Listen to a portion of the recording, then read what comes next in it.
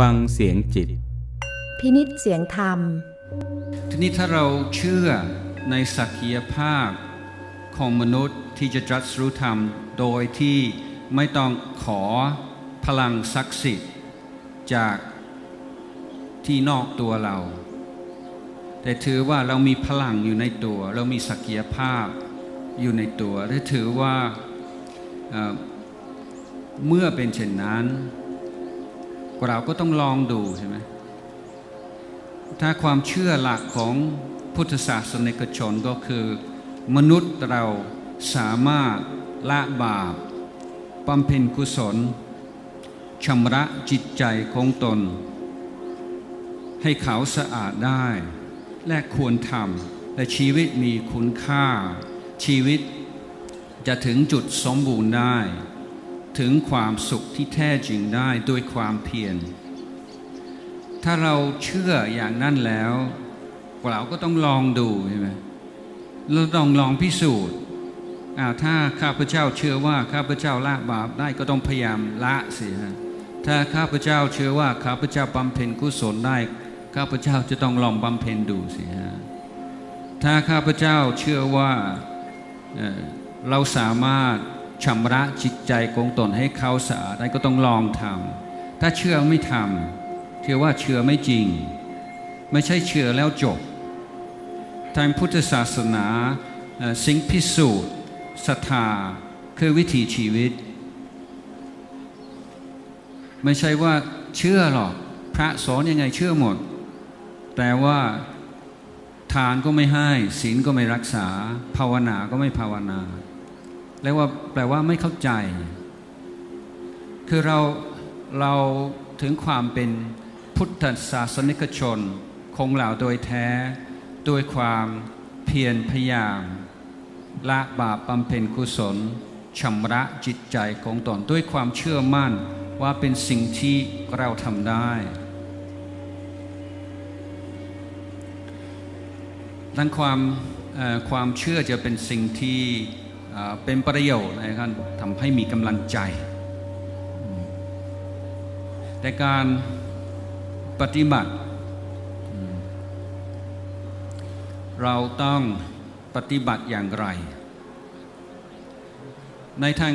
ในสมัยพุทธกาลยังไม่มีคำว่าพุทธศาสนาใช่ไหมมีแต่คำว่าพระธรรมวินัยหรือคำว่าพรหมจรรย์ แต่คำว่าพระธรรมวินัย เป็นคำที่มีความหมายลึกซึ้งเพราะทำให้เราเข้าใจว่าพุทธศาสนาเป็นเรื่องด้านนอกและด้านใน ทุกวันนี้ก็ยังมีผู้เข้าใจผิดกันเยอะเหมือนกัน ว่าถ้าเป็นนักปฏิบัติไม่ต้องยุ่งกับใคร เจออะไรที่ชวนให้เป็นทุกข์ นักปฏิบัติต้องทำใจ ปล่อยวาง อย่าไปเป็นทุกข์กับมัน พุทธองค์ไม่เคยสอนอย่างนั้น พุทธองค์ถือว่าชีวิตคือการเรียนรู้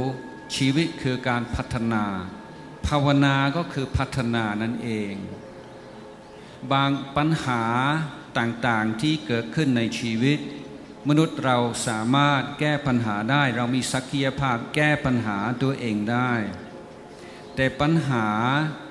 บางประเภท ต้องแก้โดยวินัย ปัญหาบางอย่างต้องแก้ด้วยธรรม ไม่ใช่ว่าเป็นเรื่องภายในจิตใจเราทั้งหมด ยกตัวอย่างง่าย ๆว่าถ้าเราอยู่ในครอบครัวหรือชุมชน ที่เต็มไปด้วยความรุนแรง จองถึงขั้นที่เรารู้สึกไม่ปลอดภัย ลูกไปโรงเรียนแต่ละวันเราก็เป็นห่วง